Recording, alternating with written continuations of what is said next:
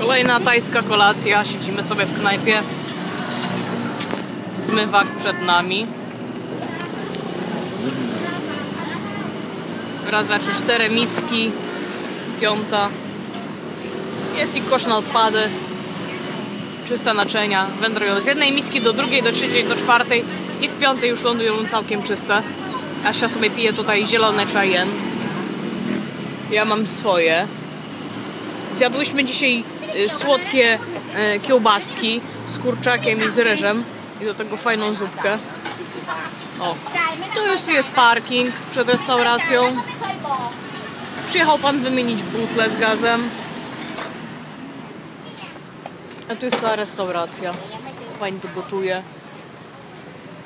I tu wisi sobie wieprzowinka.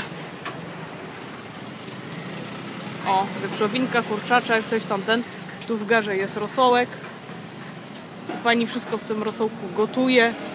Wkłada do miseczek. O, proszę bardzo, jak ładnie. Nakłada makaron, różne zielska, a potem zalewa tym rosołkiem. No i są miski, oczywiście muszą być plastikowe. Porcelanowe rzadko się zdarzają. Jest wybór dań. Można sobie wybrać, co sobie kto życzy. Jajeczko na twardo, czy coś tam. O. Bierze pani mięsko, tutaj dorzuca. I tym takim rosołkiem. O, dwa rodzaje rosołków. Jeden jest pewnie z kurczaka, drugi jest pewnie z wołowiny, bo jest ciemniejszy.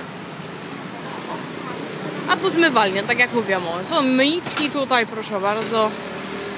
Wszystko ładnie umyte. Nasze jedzenie.